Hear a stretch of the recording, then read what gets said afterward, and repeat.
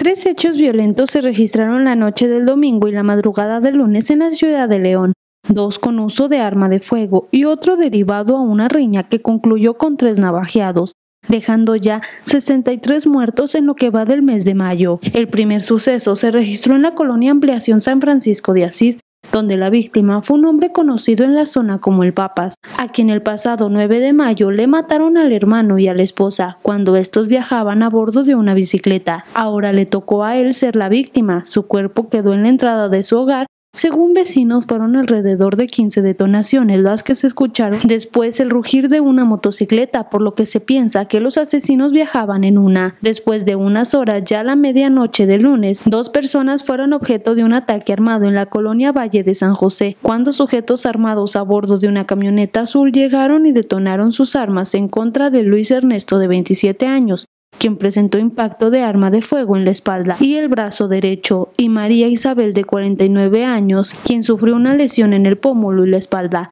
Ambos fueron auxiliados por paramédicos y trasladados a un hospital.